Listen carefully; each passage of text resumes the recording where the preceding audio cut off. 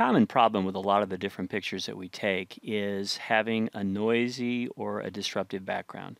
In this particular case, here's a picture of my son Jack batting, and the picture itself is, is pretty decent. It's kind of a nice action picture. The problem is, is that we've got uh, folks behind a fence here, the spectators behind a fence, and because they are uh, kind of in focus and, and kind of sticking out there, they're interfering with the subject of the picture. A trick you can do in Photoshop Elements and a lot of dif different image editors is you can de-emphasize the background, and that's what we're going to do here in this short little tutorial. First thing we're going to do is we're going to grab our lasso tool, and we're going to come over here and actually select the background. And when I do the selection, I'm, am in essence going to just kind of generally draw around Jack. Now, if I was gonna gonna take more time, if I really wanted to take some time to do this, I would take the time to precisely select him instead of doing a general selection. But in this case, I'm going to do it. I'm going to do it quickly. I'm kind of in. I'm in a hurry with this picture, we'll say, and I I just want to do it quickly. So what we're going to do is we're going to select him in a general way, but then we're going to use a concept called feathering, which will allow us to blend our selected area with our non-selected area, which makes the changes we, we are going to make blend better with the entire picture. Okay, so let's go ahead and start our selection. I'll kind of go along the grass down here. And you can see that I'm whipping a Krong here pretty quickly. I'm going to stay try to stay as tight as I can to him here, up around his helmet. And you know, again, I'm I'm certainly not doing this perfect in any particular sense here. As we kind of draw down here along the grass.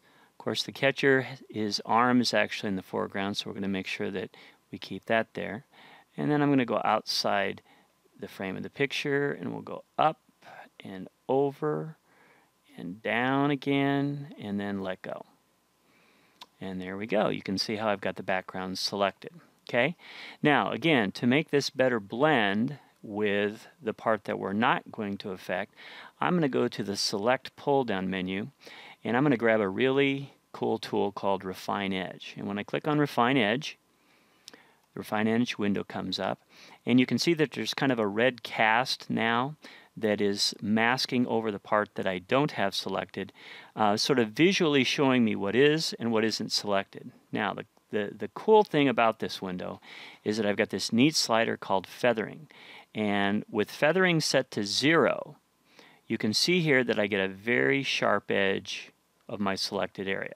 Okay, but as I drag this feathering slider over and drop it, and a little bit more and drop it, and a little bit more and drop it. What's happening is, is that the edge is getting soft, and this soft edge is what's going to allow the selected part of the picture to blend with the non-selected part of the picture. In essence, it allows us to select a portion of a picture again, do some changes to it, but then make it blend with the rest of the picture. So we'll go ahead and do that here, and that doesn't look too bad. I think we'll leave it just about right there. Okay, click OK. We'll be back to our picture here. All right, now it's time to go ahead and de-emphasize the background, and I'm going to use two different techniques to do that. First thing I'm going to do is I'm going to go to the Filter pull-down menu, slide down to an option called Blur, and then the particular blur that I'm going to use in, in this case is called Gaussian blur. Uh, these other blurs work in a very similar way. You can always experiment with them to see which one you like the best. I really kind of like the Gaussian blur. So let's go ahead and click on that. Okay. The blur window is really pretty simple to use. It just has a one slider in it. The more you, you slide this radius slider to the right, the more the area you have selected becomes blurred. Now I'm going to do one little thing here before I start sliding this and watching the blurring. I'm going to hide this selection line by pressing Control H on my keyboard. You can see the line has now disappeared. And that'll just make it a little bit easier for me to see what the heck's going on here. Alright, I'm going to come down to my radius. I'm going to start sliding it over and dropping it. Oh, and if this little window pops up here, it says something about a number between 1 and 250. Um, just click OK and keep going. It's just one of those kind of nuisance little things that pops up in Photoshop sometimes. All right, now as I drag this over, you can see it's getting blurrier and blurrier. In fact, just to show you how it really is blurring. Let me drag it way over. See what it does there? Now, we don't want that. But uh, what we do want is a more subtle blur. And I'm going to come back here, you know, maybe to about right there once. Now, if we go up to the preview, there's a little preview checkbox. I uncheck it. There's the before. And there's the after. And you can see what I'm doing is just blurring it out just a little bit. I'm going to blur a little bit more before and after. Before and after. That's not too bad right there. Okay? So we'll click OK. Already, he's beginning to pop out a little bit more here. Now, we're going to do one more thing.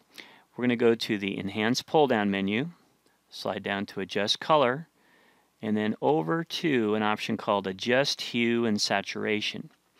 This handy little control opens up a window that lets us mess with the color, but in particular, we're going to use this slider called Saturation, which in essence is going to let us turn the color down.